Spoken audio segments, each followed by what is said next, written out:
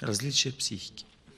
У нас есть три аспекта. Душа имеет три аспекта, которые дают ей жизнь. Вернее, это три аспекта сознания души. Из этого наша жизнь соткана. Первый аспект называется вечность. Мы все стремимся к вечности одинаково. Все люди хотят жить, все люди хотят стабильности. Мужчины, женщины, не имеет значения. Второй аспект – счастье, любовь, аспект любви. Одинаково ли этот аспект в сердце существуют мужчины и женщины? Вот в этом вопрос у меня к вам серьезный вопрос. Вот одинаково ли относится мужчина к любви и женщина к любви? Нет, правильно, по-разному. А кто является объектом любви и кто является тот, кто добивается ее? Правильно? Объект любви женщина. А почему? В чем причина?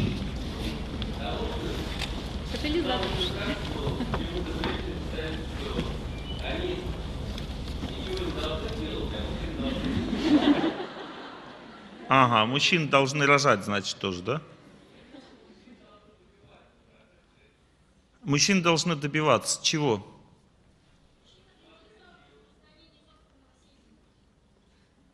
Мужчина распростран... заинтересован в распространении семени. То есть это обезьяна. Мужчина это обезьяна, которая цель жизни это распространить семя. То есть он, это обезьяна. То есть мы обезьяны все. И цель нашей жизни это распространить семя. Вот сейчас моя цель распространить на вас свое семя. У меня нет другой цели. Я тоже мужчина, я считаю.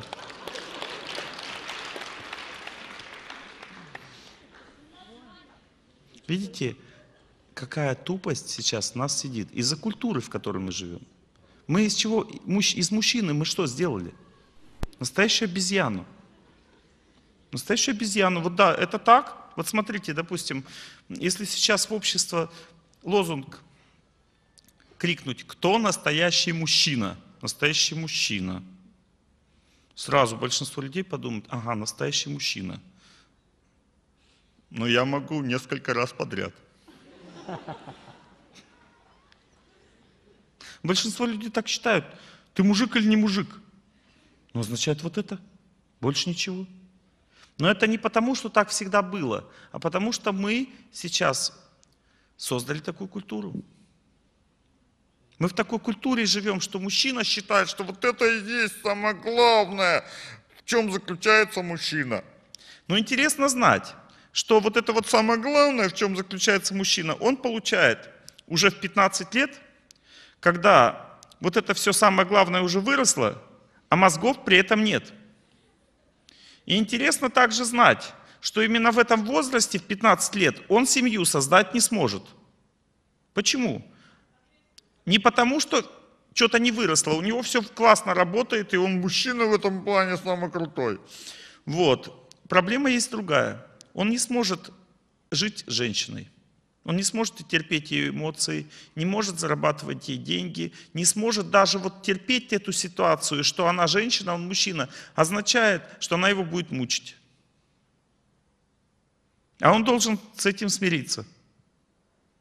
Но даже не в этом проблема. Проблема заключается в том, что он берет одну замуж, одну жену всего – она, оказывается, сильно любит свою маму и папу. Женщина очень к родственникам привязаны. И оказывается, приходится брать еще в отношении еще ее и родственников, которые как бы не планировал брать. Но даже это не самое главное. Самое главное заключается в том, что из нее разные люди вылазят, которые тоже семьей становятся, и непонятно, как себя ведут потом.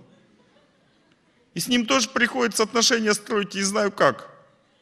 Когда молодой парень 15 лет это все увидит, он подумает, не хочу, и убегает. А потом, когда он вдруг, если так получится в его жизни, что он станет все-таки мужчиной, не означает распространитель семени, не означает, а означает человеком серьезным, глубоким, ответственным, который старается о семени не думать вообще, а думать о жизни вообще – о жизни. Потому что... Что такое в моем понимании жизни? А?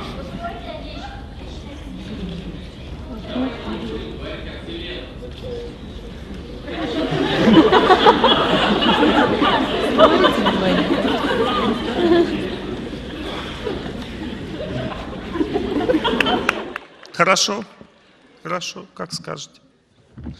Жизнь в моем понимании это секс. Вот секс. И вот знаете, э, вот жизни что-то мало, потому что секса в жизни всего 5 минут в день, ну там 10, может быть, у кого-то ну, 30, допустим, максимум 30. А в дне 24 часа. И что делать эти 24 часа, не знаю. Жизнь кончается. Вот сексом позанимался полчаса, ну такое крутой, допустим. Вот. А? Думать об этом, да? Думаю, думаю об этом. Думаю о попе каждый день, каждый час, каждую секунду. Потом, когда сила появилась, опять секс. Потом опять думаю, потом опять секс, потом опять думаю об этом. И потом думаю, а нафига мне вот это вот вообще думалка? Вообще, нафига она мне нужна? Потому что секс без нее лучше получается. Потому что когда эта думалка работает, а, тебе приходится думать об этой женщине. А так вообще, вот если ее отрезать, можно просто то с одной, то со второй, то с третьей. А здесь ничего не возникает. Вот, допустим, обезьянки на деревьях. С одной позанимался, со второй позанимался, и все нормально. А думалка мешает, понимаете, вот в этом проблема. Вот в этом проблема. Думалка мешает мне нормально жить. Означает здесь секс, там секс, там здесь секс и так далее. Я говорю про жизнь.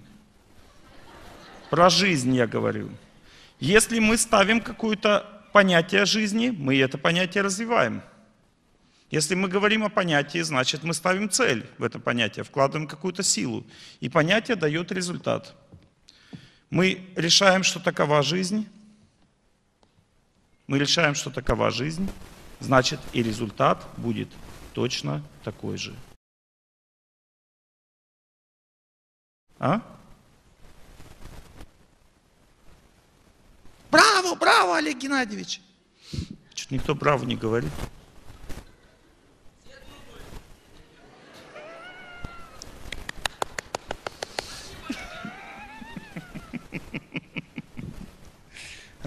Ну ладно, хорошо. Итак, мои хорошие, мы с вами запутались конкретно просто, конкретно. Вот то, что мы сейчас слышали, это ведь философия-то не на уровне э, бурлаков на Волге. Это философия на уровне психологов происходит. Мне ведь концепции-то психологические сейчас излагают, а не концепции людей, которые сидят и бухают. В этом заключается проблема тяжелейшая нашей судьбы. Вы понимаете, наше сознание сместилось отсюда вот сюда. Как бы вот наше понимание жизни, наше вот это вот, допустим, не рассматривается вообще. Верю в тебя, дорогую подругу мою, эта вера от смерти меня темной ночью спасает. Это вообще не рассматривается, потому что вот эта концепция, о которой мы сейчас говорили, и вот это, они прямо противоположные, понимаете? Там, где есть вот эта идея, что секс как бы и все, там нет идеи верности, нет любви, понимаете? Потому что эта идея, она разрушает даже концепцию семьи. Вот эта идея, секс, основа жизни, означает, семья мешает. Потому что в сексе Потому что в семье невозможно сексом наслаждаться в полной степени. Невозможно, надоедает близкий человек. Ну сколько лет ты можешь с ним вот так вот классно сексом заниматься? Надоедает. Это означает, что нужен кто-то другой, понимаете? И об этом тоже психологи говорят современные.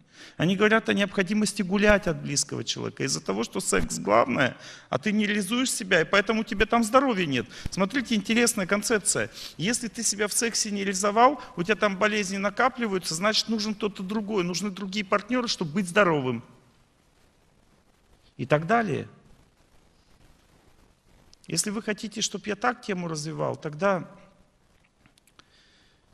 мне здесь делать нечего. Потому что я так не считаю. Я так не считаю.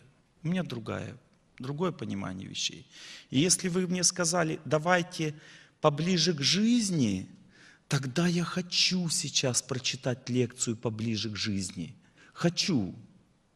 Дайте мне эту, пожалуйста, возможность и не выкрикивайте, потому что я сейчас буду читать поближе к жизни. Будет очень практичная и правильная беседа. Вот то, что вы сейчас говорите, это не поближе к жизни, это поближе к обезьянам. А мы люди, понимаете, и у нас другая жизнь. Нам хочется честности, чистоты, нам хочется верности, нам хочется глубины. И хочется стать таким человеком, который бы смог победить это половое гнусное желание – которая только портит наше понимание, что я человек. Потому что люди, когда на основании этого полового желания строят свою личную жизнь, они перестают быть любви, понимаете, перестают быть людьми. Это половое желание – это всего лишь определенная небольшая часть семейной жизни, которая не является главной, не является главной. Попытайтесь это понять. Если это непонятно будет, вся семейная жизнь будет разрушена, потому что каждому человеку полового счастья в жизни суждено лишь немного. Обязательно в каждой семье это закончится в какой-то степени и не будет такого глубокого чувства, как раньше. И зачем тогда с этим человеком жить? А посмотрите, сколько семей уже разрушены из-за того, что люди именно так и считают. Если мне с ним уже, я не могу вот так быть счастливым в этом вот вопросе, зачем тогда мне с ним жить? Он бросает жену, детей. Они все мучаются и страдают просто потому, он не может объяснить им, детям, почему он бросил их мать. Потому что палочка и колбочка перестают тереться, как он хочет. Но это же бред, это бред. И неужели мы ради этого бреда живем здесь, на этой земле?